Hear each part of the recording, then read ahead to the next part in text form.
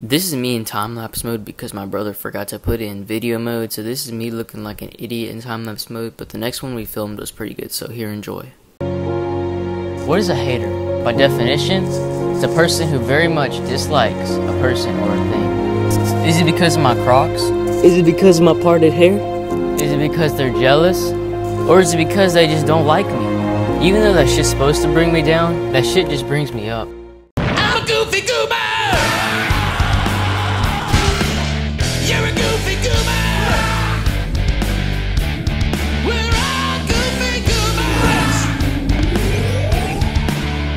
Goofy, goofy, goober, goober!